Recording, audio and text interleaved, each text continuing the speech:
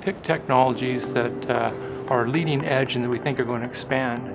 And so we've picked technologies like uh, we were in cloud in 2009 when people didn't even know what cloud was for the most part. The bottom line is it's by listening to our customers is how we know we have the right technology because if we don't have the right technology, they make sure we know about it. I think the thing we're most excited about is we're doing a project with Johns Hopkins, uh, a team from Johns Hopkins, uh, using AI machine learning to analyze data. So we're able to look at many sources of data uh, and understand how programs impact.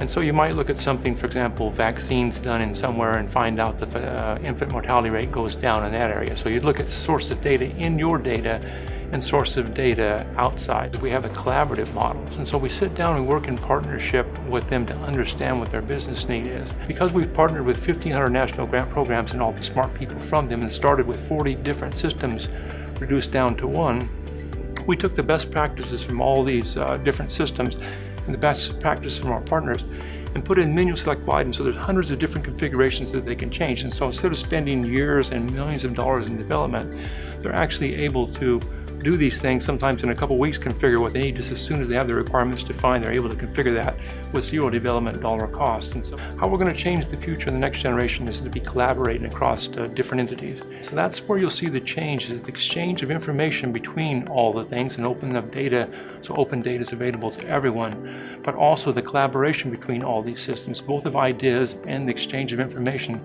My passion is delivering value to the american people and when i'm out there I'm thinking uh, about the woman, she works as a single mother, she's got two children, she's paying taxes, and that's her money we're spending. And so my passion is figuring out how to spend that money very carefully and very wisely.